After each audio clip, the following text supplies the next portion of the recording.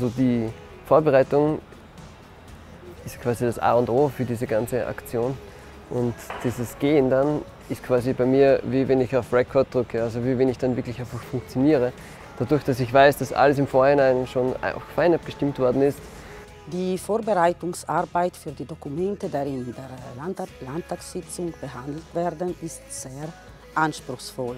Sie beginnt äh, mit dem Studium der Ge Gegebenheiten im Land, mit äh, Gesprächen mit Bürgerinnen und Bürgern, die uns von Problemen und Schwierigkeiten natürlich erzählen und Diskussionen mit Experten, um zu verstehen, welche Maßnahmen notwendig sind, um das Wohlergehen der Bevölkerung auch in Zukunft zu sichern. Die äh, Arbeit des äh, Plenums, in dem sich 35 äh, Abgeordnete jeden Monat äh, für dreieinhalb Tage versammeln, ist äh, natürlich nur die letzte Phase dieser Vorbereitungsarbeit. Ist dann die Überquerung meistens wirklich einfach für mich auch immer wieder eine Bereicherung, eine Flow und das ist eigentlich das Schönste.